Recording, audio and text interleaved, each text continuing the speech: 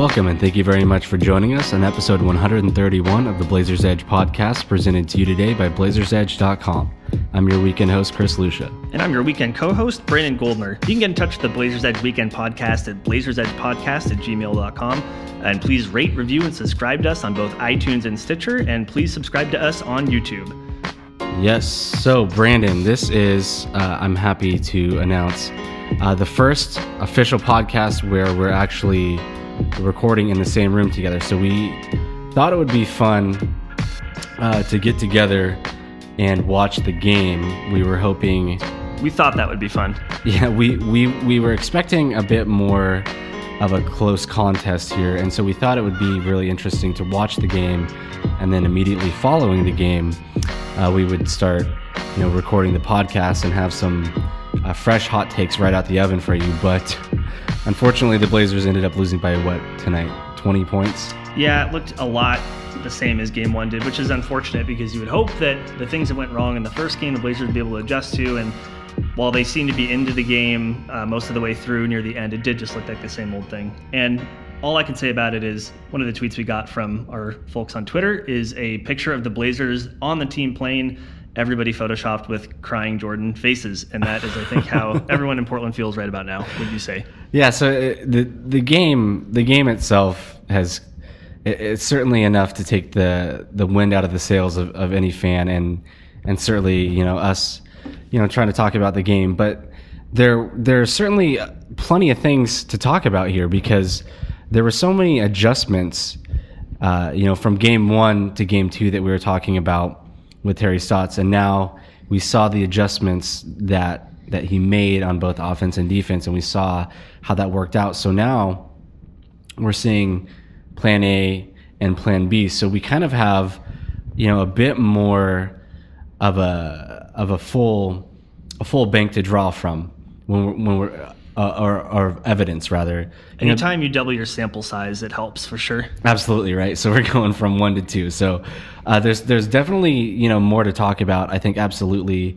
and, and I think you know if you start a series with two blowout losses, maybe it kind of tempers the expectations of the fan base a little bit to where to where you're maybe not so much thinking, okay, how can the Blazers win this series?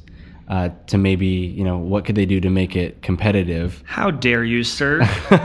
I mean, when you lose the first two games on the road in the playoff series, if you go through the stats, history dictates that you're not in good shape. It doesn't matter how closely you're matched with the other team. And for a four or five matchup, it's not like the Blazers are totally being blown out of the water. But I mean, if you look at the end result of both games, um, actually, they are getting blown out of the water. It just doesn't seem like they should be falling so far behind as they are. Um, but yeah, I mean, there are still, you know, two games coming up at the Moda Center. I don't know. So, so the only thing that I found a little bit troubling about this, Chris, was uh, it's like I said a little bit ago, the adjustments that you want to see the Blazers make, they didn't really seem to make. I mean, they played pretty poorly all game. And I mean, to the Blazers' credit, they did hold Los Angeles to 25 point quarters in the first, second, and third quarter. They allowed 35 points in the fourth. But some of the, some of the same things that plagued them in game one seem to be plaguing them in game two. But I mean, the optimist in me says they're going back to Portland. You're down 0-2, but that's just how you split. I mean, they're on track for a seven game series. Yeah, so I have to I have to ask, uh, Brandon, you you on the podcast last week, you explicitly stated in no uncertain terms uh, that you genuinely believed the Blazers would win this series in seven. Uh, after the first two games where they lost by a combined, was it forty points? That's possible. Uh, looking back on that prediction, are you feeling pretty confident about that personally, or are you beginning to maybe second guess the Blazers in seven? You know, I'm not feeling as confident about it. I think as any reasonable person would admit, if they expect their team to win a series, they probably don't want to see them going down 2 1 now. It is also true that I call the seven game series. That's as right. Seven game series essentially would be a coin flip. And if you can get to game seven, if you can get that far, it's it doesn't necessarily matter how poorly you did to begin with. That would mean, though, if the Blazers were to be in a position to get to game seven, they would have to make adjustments beyond what they did in this game, too. And as much as I would like to talk about the fact the game was close, it was pretty grindy. it wasn't the prettiest offensive game for either team, but it was close until the end. Even if the Blazers had lost by four or six or eight, I'd be feeling a little bit better than I do now. But another 20 point loss, I mean, we can go up and down the stats. I will admit to you, it doesn't make me feel particularly heartened. So I, I want to I want to get to some Twitter questions because we did solicit solicit some questions from uh, uh, listeners and users online. And bless the souls of all the folks who are contributing after a loss. I mean, we didn't put yeah. the call out until there was like a minute left in the game. No, absolutely. So we, we really appreciate those, and I want to get to those. But I want to I want to ask you, you know, up front, Brandon, what do you, what do you think here? You know, if you think that the Blazers still have potential to push this this series to seven, then you you must think that home court advantage is huge in this series, and being on playing on your home court is huge because if the Blazers are going to be, you know, coming back from two insane blowouts. I mean, these were games where that that first one was out of hand a little earlier on, but the second one they were within four points at the halftime, and then they just kind of the Clippers just slowly kind of built their lead while the Blazers offense completely stalled. And that was, to me, it was it was somewhat disheartening um, as a, as a fan, you know, watching the team kind of expecting or hoping for the Blazers to maybe build some kind of a lead and come back, but it seemed like every potential run that they could have gone on was stifled.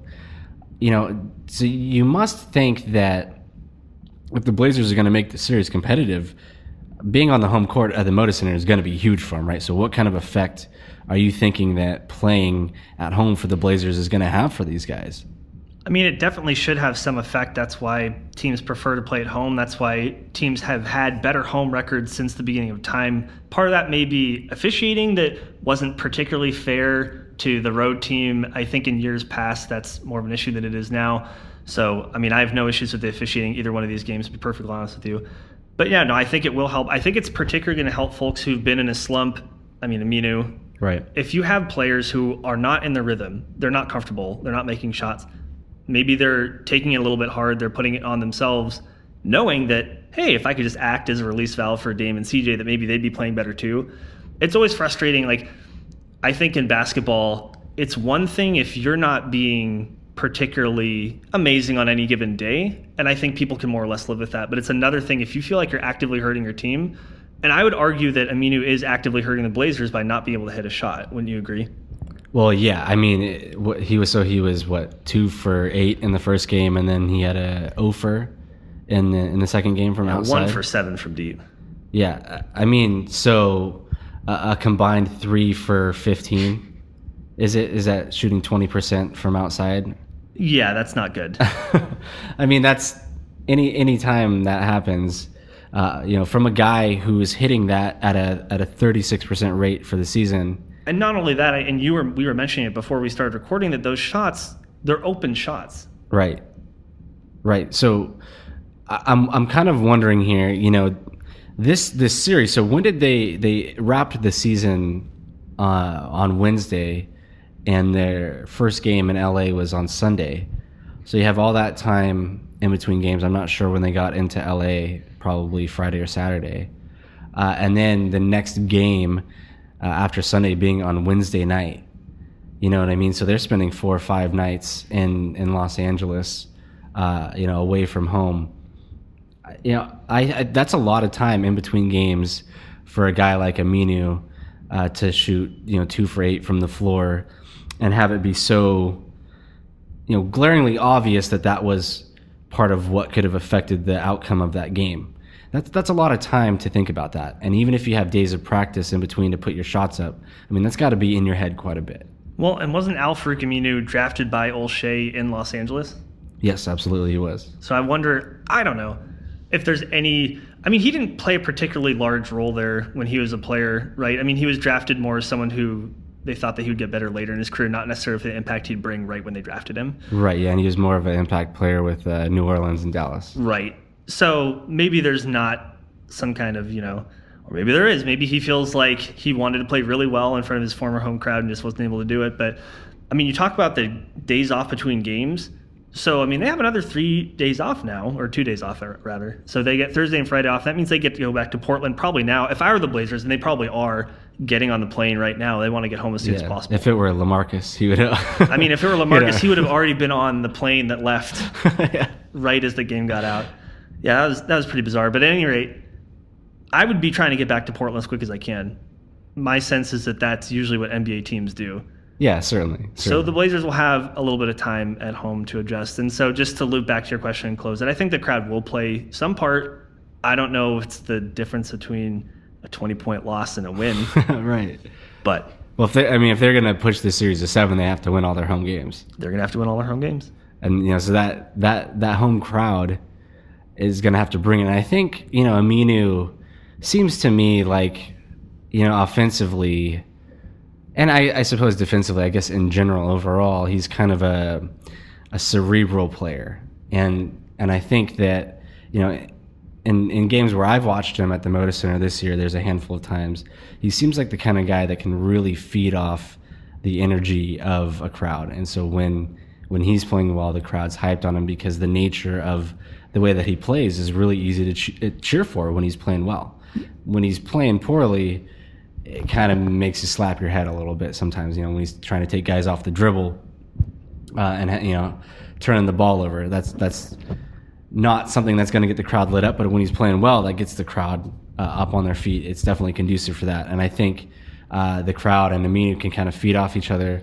You know, I think you know not being in the same city for four days in a row or however long it was, being able to think about you know what went wrong in that in that first game because that's got to be kind of a weird feeling to know that an opposing team on this big of a stage is so willing to leave you wide open. Yeah, I mean, it, it has to feel kind of disorienting.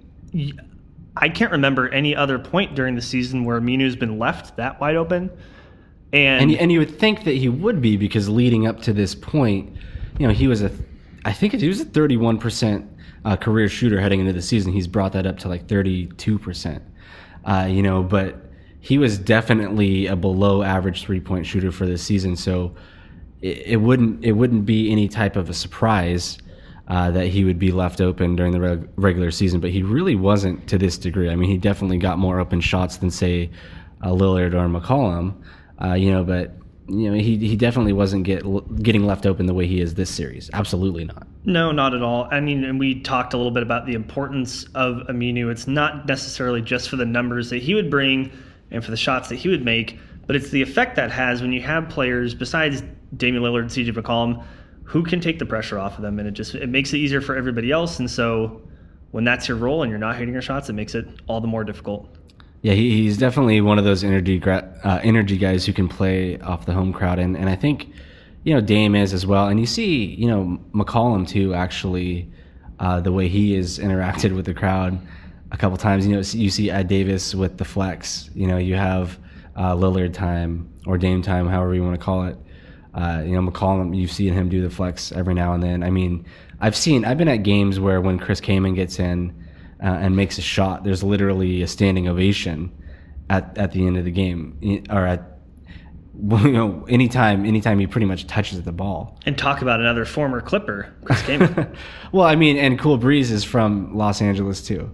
There you so, go. So there's, there's certainly like all kinds of ties, uh, you know, to the area and, and, to the team. You know, obviously with Neil Olshey, uh, Chris McGowan was president of what was it, the Los Angeles Kings, I think, in the NHL. So I mean, there's certainly all kinds of ties for the Blazers in LA. Maybe getting back home, getting in in, the same bed at night, uh, getting in the same routine that you're consistently used to, getting up shots in your practice facility, that kind of thing. Uh, I think that's going to be great for all the players, obviously, and the coaching staff and, and everybody from the top to the bottom, but certainly guys like like Aminu and, and Lillard and McCollum and Ed Davis, who definitely you know seem to play off the home crowd. Uh, but I, I, do want to get to these uh, Twitter questions because I think you know we could cover a lot of ground with these as well. Uh, and, and I just want to start maybe uh, you know toss you kind of an interesting one here that maybe uh, you might have a solid take on. And this comes from Ryan McCullough. That's uh, at Ryan Mac eight nine five on Twitter. Uh, Ryan asks, "Are the Blazers the whiniest team in the league right now?" I swear, if Dame put the same energy into defense that he does complaining, uh, and he trails off there. But you know, is it is this something for you, Brandon, where you are noticing that Damian Lillard is complaining to the extent that it is affecting his ability to play competent defense in this series? No, and it's funny that someone would make a comment about the Blazers being the whiniest team in the league when they're playing the Los Angeles Clippers, one of the quantifiably whiniest teams of our generation. How would you I, how would you quantify that? I was just curious. Well, I I'll tell you, it's not arbitrary. That's number one. number two, quantifiably, as in, if you were to take a breakdown, like if if stats.nba.com had a breakdown of the number of times that a coach contested a call to an official, I'd like to see where Doc Rivers stood in the annals of time. You know I'm how sure have, that he'd be, uh, his percentage would be way up there. They have the the miles traveled for players. Right. So if they had miles traveled for coaches, are you saying Doc Rivers would would lead the league? Yeah, and it's not just that it's Doc Rivers, right? It's that Doc Rivers is the GM, Doc Rivers is the coach, Doc Rivers controls the team. The team runs pretty well, frankly, but they take his cue, they take their cues from Doc Rivers. And so they have Chris Paul, and not only is Chris Paul whiny, Chris Paul is a player who's very, you can call him crafty, you can call him a veteran player. He's been around forever, he's super strong. I mean, Eric Griffith had an article about Chris Paul before game one. You should check it out. But Chris Paul is as whiny as they come, first of all, and second of all, creates that contact and tries to deceive the referees into giving calls that are favorable to him. Blake Griffin, mm, I mean, he's not super, super, super duper whiny. Anyway, examples abound. And it's funny because, I mean, JJ Redick has talked in the past because he's not particularly, um, you know, outspoken with the officials, JJ Redick. And I think that he's even talked before about how he doesn't necessarily prefer that approach to officiating, but he understands that that's how his team kind of looks at it, and so he's okay with it more or less. So, but to say the Blazers the whiniest team in the league, you have the Rockets, you have the Clippers, those two right there. Just I mean, one A and one B. Well, so, uh, also listening, you know, I, I don't, I, I think that guys who are calling the game for you know a specific team, you have to take what they say with a grain of salt, you know, and, and maybe, you know, add whatever Homer preface there might be to this. But, you know, Mike and Mike, you know, one of the takes that they've had pretty consistently, uh, you know, when talking about, you know, the way that the Clippers,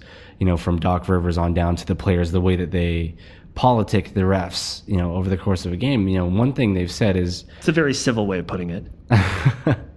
one, one, one thing they've said is that you know you see, you know, Stotts definitely lets the officials know that he's there, but he's not a guy who's going to ride the officials consistently all game, uh, and the players aren't necessarily unless it's you know egregious.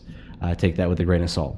So you're you're playing the Clippers and and you're generally you generally take a laid back approach, but you constantly are seeing Doc Rivers in every single ref's ear. You're seeing Chris Paul in the ref's ear. You're seeing uh, Blake Griffin in the ref's ear. Uh, Jamal Crawford. Uh, you know, yeah, I it, forgot about Jamal Crawford. It's you don't you, you never want to allow. How how do you, how do you say this? You don't you don't want to stoop to someone else's level. I guess is is kind of a for lack of a better uh, phrase for that. But what else are you gonna do if you feel like you're not getting? If you feel like the referee, the officials only have a certain amount of time to listen, uh, you know, to whatever coaches, and they're giving seventy five percent of it to another team or another coach. Don't you you feel like you kind of have to, you know, get in there at some point and, and, let your voice be heard. I mean, this is this is more or less. I feel like what Mike and Mike are saying. I, I tend to think that like if I were take, try to take a laid back approach, and on the other end there, I was seeing you know Chris Paul and Doc Rivers do their thing. I would want to take the classy route, but it would be hard for me. It would be hard for me to not stoop to that level. I have to admit. I'm just thinking about if I'm a coach playing in a game where the other coach is constantly gnawing at the refs, I'm making a judgment about whether that's productive for the other team that is going to inform whether or not I mimic whatever they're doing. I think that there are times when coaches and teams are complaining to referees and it's counterproductive. I think in those situations, it's probably better not to say anything. But I could certainly see if you think it's effective that you might want to pick up on that too. I mean, at the end of the day, it's about winning basketball games. Right. So, in my book, as long as what you're doing is not cheating or trying to hurt someone else, actually, that's a big one for me, then I say go for it. Here's the thing I don't believe that complaining to the referees is particularly effective unless you do it the right way. I have not been in the NBA. Chris, I'll admit, I'm going to admit for the first time, I, I've never been an NBA player myself. Shocking. Shocking. I mean, the six two, you know, can hop over a phone book probably. but it doesn't seem to me the way Doc Rivers approaches handling the officials and the other players on his team. I don't think that's a particularly effective way of dealing with it. And officials do a good job of tuning that stuff out. I don't know if that's the most effective way to do it. And I think, as you said earlier, Terry Stotts does have it in him to bring up concerns that he has, but he does it in a way that seems like they're resonating more with the officials. But that's just how it how it seems to me, the observer. So, do do you think that Dame needs to tone it down a little bit? No, Or do you, I think do you disagree with it. I don't even think Ryan Damian said? Lillard complains all that much. Do you? I mean, he, I, I think he complains as much as any other star. I mean, as a lot of other star players in the league. I mean, he seems.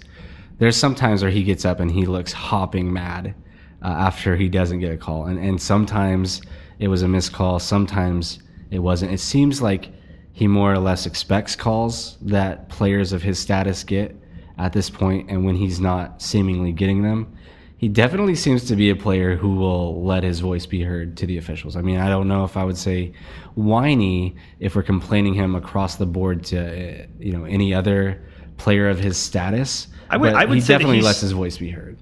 I would say that he's solidly at the median of that spectrum. I mean, that's that that's definitely fair. I mean, and then you know maybe that's this is just frustration. You know, um, you know Ryan's question is, you know, a bit. You know, you're watching the Clippers do this, and and it's it's on the front of your mind, and it's something we all talk about. You know, when we're talking about the games, this is one of the first things you talk about is the way they handle the officials. So this is definitely going to be a talking point in the series, I guess. Uh, to to loop it all back in, I would say, you know, personally, Dame's not not being egregious egregious with his complaining. I don't think this series. I just think it's it's kind of a point.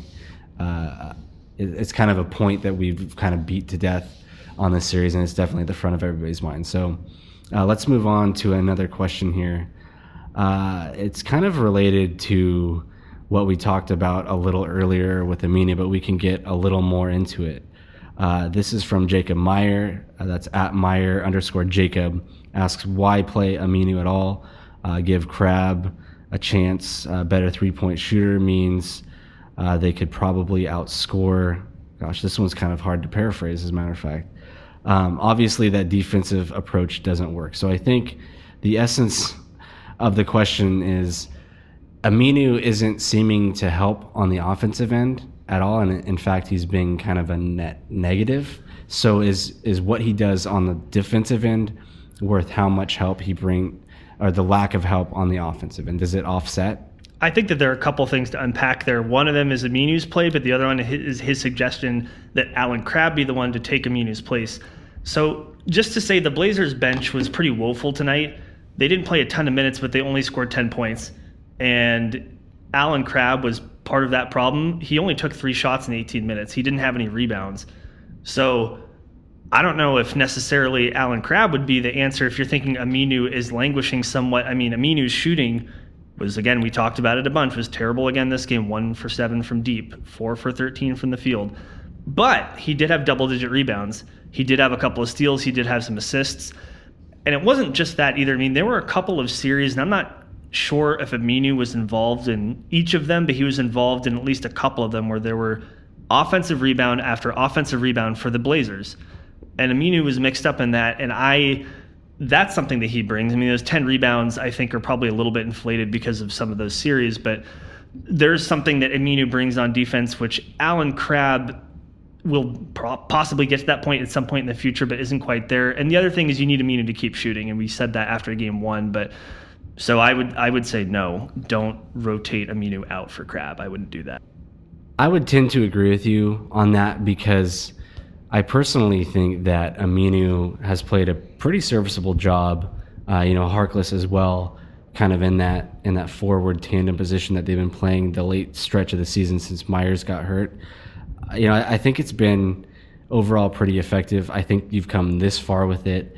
I don't think it's time yet to start doing anything, you know, crazy to yeah, like like putting in Allen Crabbe at the four to maybe change it now. If the Blazers get blown out in Game Three at the Moda Center, then maybe it's time to throw you know throw Crabbe out there and, and give him an opportunity and see what he can do. Because what I'm what I'm kind of thinking here is, and and you can tell me if I'm not remembering this correctly, but uh, last season down the stretch of the season.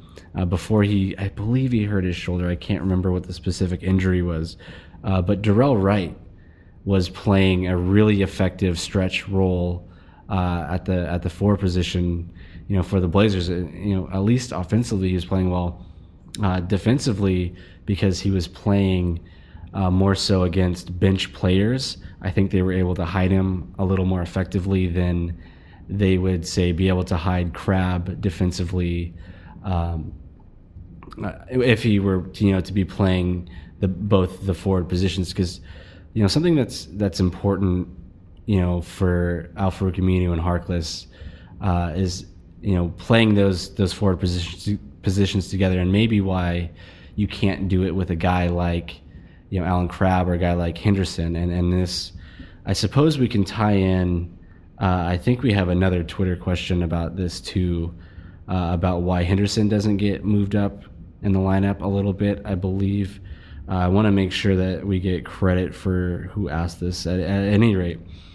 Uh, you know, the reason why I think you're not seeing Crabbe and Henderson move up in that lineup is because being able to switch uh, defensively is so important with, with the bigs. So, you know, you can get by with Aminu and Harkless switching with Mason Plumlee.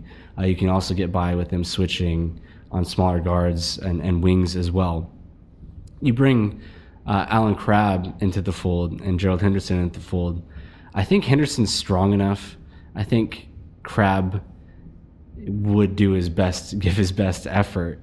Uh, but in terms of having the length, you know, I think Harkless's and I think Aminu's length is so important in their ability to be able to defend guys. And, and if you're talking about replacing Aminu in in the starting lineup, I mean that means you're putting starting Crabbe out against Blake Griffin. Yeah. I mean, I mean, is that what you want to do here?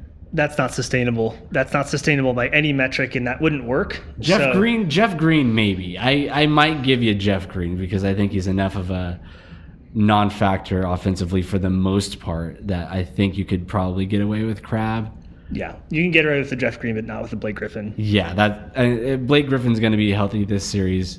I don't see that happening. And then and then you start thinking about switching um, and help side defense, and I just don't think they have you know the length to really be able to withstand what the Clippers can bring uh, at them. I think you know you're looking at how the Clippers are able to exploit uh, exploit their current starting lineup. I think that gives them even more of an opportunity, uh, you know, for exploitation. I think you'd be seeing Blake Griffin really making some post rising dunks. I think DeAndre Jordan would be making life really difficult on on Allen Crabbe or, or Gerald Henderson, um, you know, whomever you would be switching out with with Aminu. So uh, just to give credit to that to bringing Henderson into there, that's from Mac uh, Canifax Mac at Mac underscore Canifax ten. He asked, uh, or he or she asked, thoughts on switching Henderson and Harkless. So it's basically, you know, the the concept of switching in one of those one of those other wings for one of those other guys who's playing up. And, and really, to me, I just I just don't think it's realistic to to expect those you know wings to be able to play up against against guys the level of Blake Griffin. And when we're talking about players that can play a couple different positions, we have another question from Twitter from Toby M. Green that he asks here. She asks, "Does this series show the need to scrap or delay the Vonleh experiment?" So I don't know if Von, Noah Vonleh's played at all in this series yet. Has he? Yeah, well, in, in game one, so the minutes in game two that Kaman was getting, uh, that's where Noah Vonleh was in the rotation in game one. Okay, but he didn't have any kind of meaningful impact, and it doesn't look like he is going to have any kind of meaningful impact on this series. Not that I can see. Well, it depends. It depends on who you ask. I mean, so maybe we shouldn't be thinking about bringing in Crabbe or bringing in Henderson for Harkless or Aminu. Maybe the question here is: Do you go back to? Do you revert back to that starting lineup with Noah Vonleh, uh, and I mean, and bring Harkless off the bench? Because I can't imagine at this point in the season moving Aminu into a bench role. I mean, you've played what 84 games with him as the starting as, as, as a starting forward. I think Harkless would be a much more seamless move to the bench. But Harkless has shown a lot of confidence as a starter. Yeah, and the other thing too is that if you I mean, now we're trying to bake in the fact that Aminu's not going to hit a shot, but if you think about removing Harkless's even the threat for him to shoot the three, I mean, he hit two for four tonight. Vonleh doesn't yet have the skill to hit a three. That's something that's in his pocket, but he hasn't developed yet. So if you were to rotate Noah Vonleh into the starting lineup, so you'd have CJ McCollum and Damian Lillard who can hit threes, Aminu who can't hit the broadside of a barn, Mason Plumlee who doesn't shoot threes, and then Noah Vonleh who maybe someday can shoot a three but hasn't shown it at all lately. So that would be very, very tough. And the other thing about Noah Vonleh too, I mean, you're talking about this is the playoffs that's why is it that Chris Kaman hasn't played any meaningful minutes in any game all year, and now he's playing double digit minutes? I mean, and I mean, somewhat of an aside, I wanted to see Chris Kaman put somebody in the spin cycle, that classic Kaman spin cycle, and we got it today, and it, it worked out just as horribly as you thought it might have. I think that he got, he tried to put, uh, who was it he tried to put in that spin cycle? He just got like double blocked or like stumbled and it was horrible. I mean, so at, at one end of the, the floor and we are as we are watching the game together, the you know, I said, you know, at least Chris Kaman defensively, he can play that that kind of backstop role. You see him drop pretty hard in the pick and roll. Uh, you know, he's not he's not going to hedge super hard, but at least you get you know, a big back there to protect the rim a little bit. Uh, and, you know, I was just complimenting his comp- competency uh, in in his ability to protect the rim, at least in the context of you know who the Blazers have to put out there at the at the center position right now. And then on the other end of the floor, I mean, you just see exactly why you Kaman's not a rotation player in the NBA right now because he just he has the desire to score that he did when he was an All Star uh, with the Clippers, but he doesn't have the ability anymore uh, to take a guy off the dribble and and those the moves that he has, the spin cycle you mentioned. That's going to work against you know reserve players maybe in a regular season game, and you know occasionally he can bust out the magic. You know, you you I mean, I'm sure Andre Miller can put up 20 points a game every now and then, but this isn't something that is consistent. And I think it's, you know, with a guy like Miller, I think you've noticed him adjust his game as he's aged uh, and be a bit more realistic about his abilities. You know, Chris Kaman, offensively, I, I'm I'm seeing him get the ball on offense, and I'm wondering, you know, personally, is is he going to pass the ball back out? And for a guy who's playing the role that he's playing for this team, I mean, I think he's out there to be a competent defender for the Blazers and offensively to set solid screens. I don't think that Terry Stotts is putting him out there, and I could be completely wrong. I'm not. I'm not. I'm not behind the bench here, hearing anything that Stotts is saying. So maybe, maybe the, the, this is speculation here to say that Chris Kaman's going a little bit rogue on the game plan.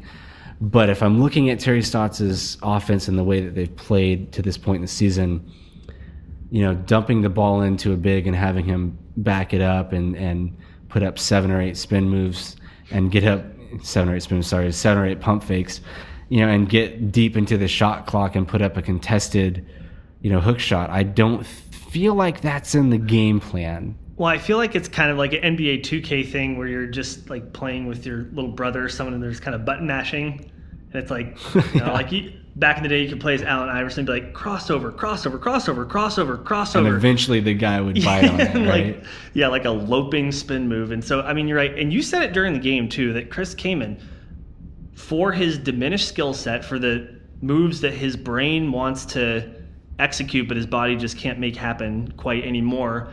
Just maybe if he passed a little bit more, it would be nice. If he didn't automatically feel like he had to make something happen, because one place where Kaman I thought was pretty effective, even he only took six shots, but Well, how many minutes did he play? Nine minutes. ten minutes. Yeah, that's true. Yeah, no, it's I mean, it's a lot of shots for ten minutes. He shouldn't be the first or second option when he's out there. with- No, but there were some times when he had a relatively uncontested jumper. He hit one, missed a couple, but Well, you have to keep the defense honest, right? But That's right. But backing up a defender No, not and that. doing an ISO post move, I mean, not that. No, but when when he's open and he doesn't hesitate, that is great. Like you said, I mean, keeping the defense honest means that people are kind of going towards you and opening up everything else around you, and that's fine. But yeah, what you don't want to see is him backing someone up, putting them in the Kaman spin cycle. And I want to be clear, if this isn't clear already, when I say the Kaman spin cycle, I'm not talking about a perfectly polished, well executed basketball move. I'm talking about Chris Kaman's little spin move, right? As so there's some derision behind that term when I say the Kaman spin cycle. It means a certain thing. It means Kaman at his diminished skills now. So, yeah, I mean, I th- I- it, it, if you're talking about Chris Kaman as being one of your rotation players in the playoffs, that's not a great thing if you're the Blazers. I don't think. so at at this point though, does he legitimately help the Blazers win games more than Noah Vonleh would? I think that he does. I think that he does, and I think that that's again kind of a bummer for the Blazers. You'd hope that Noah Vonleh is still. Let's just to qualify, he's still very, very young. Okay, and he's a big, big guy. Big guys take a little while to develop, historically speaking. So, I think though the Blazers wanted Noah Vonleh to be good enough to be out there and not kind of cause trouble. Which I mean, frankly, when he started during the regular season, you know, non-playoff environments, he's done well enough to be out there and not do much wrong. But he also doesn't bring a whole lot necessarily that he does right. He's just sort of there. But clearly, Terry Stotts doesn't trust this guy to be out during the playoffs and do the same thing, right? So. I don't know. I, I, I Chris being a rotation player, not a great thing, but is he better than Noah Vonleh right now? Yes, he is. yeah, and, and again, I think the you know the defensive presence, if if for nothing else, uh, the size and being able to take up space and having you know such a big long body at the rim, I think that that's effective. I would just love to see Chris accept a reduced role in his advanced NBA age, as it were. Uh, but uh, moving on, I think we have you know a question or two uh, more we can touch on from Twitter here. Uh, so we we have one from Jeff Ellsworth that's at Ellsbells uh, 08. Jeff asks, should Stotts consider adjusting the rotation so that Dame uh, is on the court more when Chris Paul rests? I don't know if that really has so much to do with it, right? Well, I how does that work? I you know I think that what they're trying to get at is should Damian is, is that, that I think that what he's trying to say that Damian Lillard has not been playing his best, and perhaps this is one way to help him play a little bit better. I don't think that trying to sneak Damian Lillard onto the court when there's no Chris Paul is a recipe for success. Well, Dame needs to rest too. I mean, But I think he's talking about staggering the rotations so that Damian Lillard's rest is, you know, when Chris Paul is more on the court and that Damian Lillard spends more time on the court when Chris Paul is resting so that, I mean, presumably so Chris Paul isn't guarding Damian Lillard. And again, I don't think that's a recipe. uh, how do you make that happen? How do you stagger the minutes with two starters who play 36 minutes apiece? you don't. There's no staggering of the minutes to make there. yeah, you can't do Th- that. Unless you want to play Damian Lillard, what, 42 minutes a game or something crazy. I mean, he's not going to be getting much rest if you only.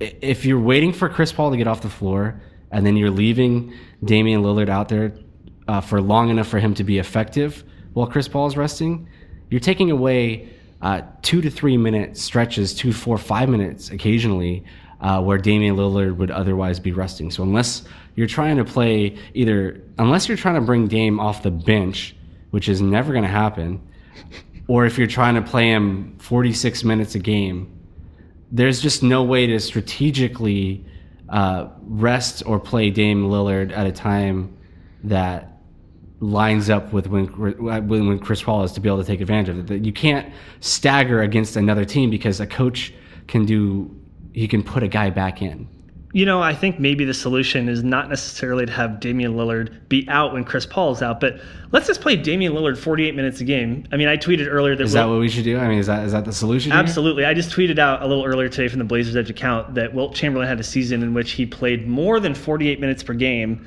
in an entire season. For those of you counting at home, NBA games have been 48 minutes long for a very very long time. So that means he played every minute of every game plus overtime on average. So was uh, that 1966? It was a very long time and ago.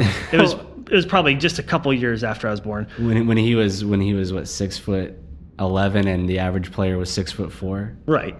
This is not. I mean, actually, it's that he wasn't expending a lot as much energy as Damian Lillard would be these days. You would you would suppose that he wasn't. I mean, if you look at actually, if you were to take a peek at the players throughout NBA history who have played the most minutes per game many, many of those seasons are going back decades. And then the ones that you see that start coming up are Allen Iverson, Allen Iverson.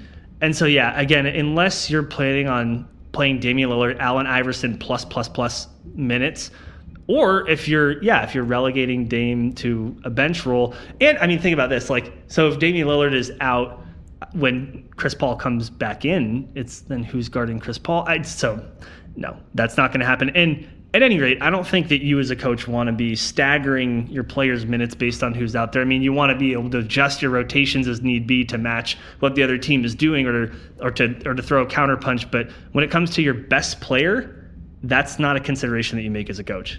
Absolutely not. And when when you're at the point where you're adjusting your star players' minutes to coincide with the whims of another coach how he's playing his star, I think you're already you have worse problems than that. I mean, your your your back is squarely up against the wall at that point, and you're just uh, throwing stuff to see what sticks at, at that point. Quite frankly, I mean that's. Uh, so I think there's there's there's bigger problems there if if that's the route that Stotts is going. I don't I don't see that happening. And I think I think this kind of ties in here uh, to an overarching point that I wanted to make. And so we'll just get this last, I think, unless you had another one, uh, a Twitter question out of the way here, and then we can kind of address this. But I have from uh, Tyler Carter uh, at T Carter three eight five. Uh, what's the game plan for Game Three? And so I kind of want to, I, I kind of want to just tie this all in here and refer this back to the last question as well because the the point that I'm getting at, I think, is that if you're the one making the adjustments and you're allowing the opposing team to dictate the way that the game is going to be played, uh, the tempo, the style, and and you look at you look at what's been happening with the Blazers uh, these first two games. So the Blazers get taken completely out of the game plan uh, by the Clippers trapping hard on the Blazers ball handlers at the top of the key. So the Blazers bread and butter play, you know, for the last handful of seasons, ever since Stotts has been there uh, with Damian Lillard, is the pick and roll. That got taken completely away, uh, completely neutered by the Clippers defense and their ability to trap. So what did the Blazers do, uh, you know, in game two to avoid that? So you have the screener come up. Oftentimes you had uh, or I shouldn't say oftentimes, I saw this a few times where you had the screener, you'd have another man actually come and there'd be an action to get the screen setter in the pick and roll open. So he doesn't have a man trailing as close and can't trap as hard, uh, or at least as effectively as they were in game one. That gives the ball handler in this in this case it was Damian Lillard a little bit more breathing room.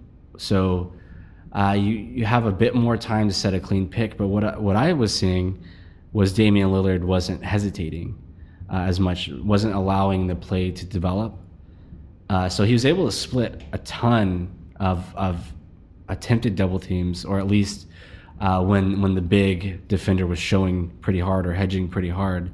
uh, you know, he was able to split that and get into the paint. Now the problem was because the screener, uh, and and this is the times that I noticed uh, when Damian Lillard was splitting that double screen or that double team, getting into the paint, uh, the screen setter was behind the play there, and so this would allow the the Clippers defense to get set should you defer to him in the pick and roll anyway. So that didn't seem to work. Um, I mean, it, it, worked a little bit, and you saw at times where it did, and the Blazers were able to keep the game close and competitive for the most part this game until the Clippers pulled away at the end. Uh, and then you saw, you know, the Blazers instead of relying on the pick and roll as much, you saw Dame uh, bring the ball up the floor, uh, pass the ball to the weak side instead of screen on the other side to get another guy open, and then they did a series of handoffs and off-ball screens uh, to get their ball handlers open and get get them the ball in space so that they weren't getting double teamed. But that again is an adjustment, and and this isn't you know the Blazers aren't able to run their offense the way that they want to run. Uh, their offense, if if the Clippers are going to continue to be able to play defense the way that they are, so I think you know to kind of what, what I'm trying to wrap this in with is that, is that the the Blazers are the ones really making the adjustments here. They're the ones. Uh, the Clippers have seem to have the upper hand and the majority of facets, you know, of this series here. And and I just think that the Blazers are at such a disadvantage here. Their backs are are squarely against the wall at this point. I think. I mean, you're down 0-2. What is it? 90% of teams who win the first two go on. It's some crazy stat uh, you know the Blazers the Blazers are, are are pretty much desperate at this point. So is this something where where they're just overmatched? Is there are there any more adjustments left to make, or at this point, you know, is Doc Rivers able to anticipate the adjustment that you can make, or is he able to make adjustments, you know, micro adjustments enough on the fly? Uh, you know, what kind of at what point are the Blazers in terms of adjustments? Is there anything more that they can do? Can should they just get back to their normal game plan and see what see what see what works? Yeah, I definitely think that there are adjustments the Blazers can make. And before we get into that, really quick, just to say how uncomfortable the Clippers were making the Blazers when your leading assist getter is Mason Plumlee with seven assists and Damian Lillard only has three assists. That's a problem. When your bench is getting outscored 43 to 10, that's a problem. As far as adjustments, I mean, it's tough. It's it's it's the same thing that we talked about after game one. It's that I mean, Al-Farouq Aminu needs to hit his shots. The Blazers' perimeter players need to be a threat in order to open up everything else. And beyond that, I, I don't know what else they can really do because it's one of those things where the rest of the puzzle pieces don't really, you know, find their way until you can make that first counter move. What I'm trying to say is that in order to get to a point where you are competitive with the team, if they're trying a particular strategy, which in this case is leaving Al-Farouq Aminu basically wide open, and that strategy is working, and what you need to do is make shots and you can't make shots that doesn't really allow you to to progress forward and the series is going to be very short if the blazers can't hit their shots and, and uh, on some level it seems just as simple as that. I mean is that oversimplifying it? No i mean if, if you can allow the clippers to to sag off you know to allow to, to hide jj Redick on aminu and sag off the way that he is and help out the way that he is i mean it's it's almost I mean it's almost comical at times how open Aminu is on some of those threes, uh, and and they're they're essentially playing five on four. It's it's pretty. I I just that it's so simple and it's so I feel so cheap saying that, but that could change the tide so much of this series. Uh, if you're just able to put a kink in their game plan, just just make them adjust for once. I think it would be, you know, allowing the Clippers to have the upper hand in this series allows them to dictate everything from the pace of the game to the tempo of the game to the tone of the game. I mean, you see the Blazers coming out scoring in the mid 90s the first game, and some of those came in, in meaningless minutes at the end. And tonight, you know, by the time the game got out of hand, the Blazers only had managed, you know, 79, 80 points. You know, and, and maybe it was before that, you know, if not for a few cheap shots at, at, at the end of the game, they would have ended with, you know, 83 points.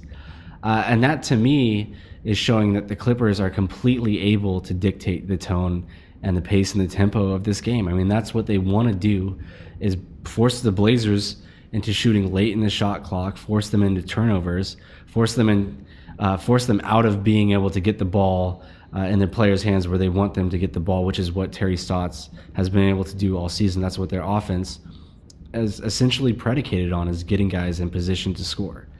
Uh, the Clippers have been able to completely take them out of, out of this by neutralizing uh, the Blazers' primary ball handlers in CJ McCollum and Damian Lillard. So, you know, if those two are going to combine for 30 points, you're going to have to have, you know, more than Mason Plumlee, you know, stepping up, uh, more than Gerald Henderson in game one stepping up. You, you're going to have to have Allen Crabbe, you know, get 10, 12, 13, 14 points. Uh, you know, towards the end of the season, you know, Al-Farouq Aminu set his career high in terms of points, you know, with 28, I think. Uh, you know, and then against the, I believe, the Thunder toward the end of the season, he had 27 points. I mean, so those those were games where the Blazers handily won. You have a guy, you know, going from two for eight from behind the arc. If he goes even hits half of his shots, four for eight, uh, allows uh, you know forces the Clippers to actually honor him a little bit if he hits two shots in a row. You know, I don't know if if Doc Rivers would just continue daring him or not, but we won't know until he hits he hits a couple of shots in a row. So that to me has to be the first first piece of the puzzle. That's going to be the the first point of attack here for the Blazers. If if if a wide open guy is not going to be hitting his shots, how else are you going to force the Clippers to adjust their game plan? Because I don't see it. I don't see that happening. Yeah, we're talking about adjustments, and just to go back to one more Twitter question, maybe put a cap on it. Uh, coming from the row picks, says it about as real as you can say it. Can we really win a game?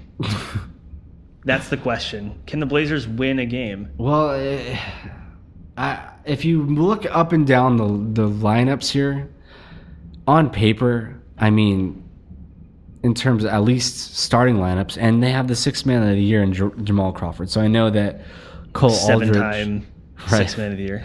So I know that Cole Aldrich, you know, isn't isn't a headline player. Neither is Austin Rivers, Wesley Johnson. You know, these guys aren't guys. You know, Jeff Green all the time. These aren't guys you expect to turn the course of a series. But you do have the sixth man of the year in Jamal Crawford, who has lit up the Blazers historically, uh, and then you have that starting lineup. You know, uh, Mbah a Moute is kind of a wash offensively, but the way that he's able to put the clamps down defensively on CJ McCollum without even doubling. I mean, every time CJ tries to go ISO, Mbah a Moute is there to stop it. Uh, and he's able to disrupt the passing lanes with his length as well. Uh, you know, anything that these Clippers have thrown at the Blazers this series, it hasn't been countered to the point where they've been forced out of doing that game plan. You know, Dame split the double team tonight and got to the rim a little bit. Did that stop the Clippers from leaving Aminu open? Because I, I don't I don't recall seeing them adjust the game plan too much. They weren't trapping as hard as they were, but they still certainly were hedging. They still certainly were sagging off certain guys and leaving other guys open in order to give extra attention to the Blazers ball handlers here. So I I'm looking up and down the lineup here. You have two way player, you know, maybe best best two way point guard in the league. I mean, I think you're going to put him above Kyle Lowry. I would assume. I think Chris Paul, offensive, offensively and defensively. Uh, you know, I mentioned Mbah a Moute, what he's able to do on the, the defensive end, uh, even though he's a wash offensively. Blake Griffin, the dude is ostensibly healthy from what we can see, having had 35 games of now, it's actually could be a net positive of being rested for the playoffs. I mean, maybe he's not fully healthy, but he's got some spring in his legs. You can see that on both ends of the court. Uh, DeAndre Jordan, I mean, this is a top five defensive, uh, top three defensive center in the NBA, uh, if not, you know, top two, depending on who you ask. I mean, you're going to take 18 boards, five dimes, and three blocks from your center any day. and a center that doesn't complain about not getting a lot of shots. He only shot four times. It doesn't matter. Exactly. huge presence. I mean, the the biggest liability they have uh, offensively uh, I should say the biggest liability they have defensively is Redick, and they've shown that the Blazers haven't made them pay for that. The biggest liability they have offensively is DeAndre Jordan's free throw shooting, and the, so far the Blazers haven't been able to make them pay for that.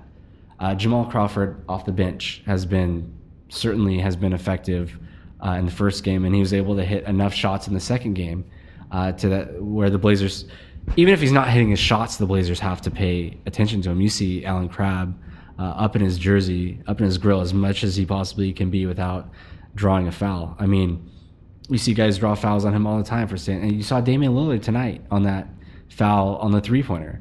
I mean, the attention that Jamal Crawford gets, even if he's not hitting his shots, can swing, you know, the balance of a game. This Clipper lineup it's easy to look at these guys and see what they've done the last handful of postseasons and that embarrassing uh, second round loss to the Clippers last year.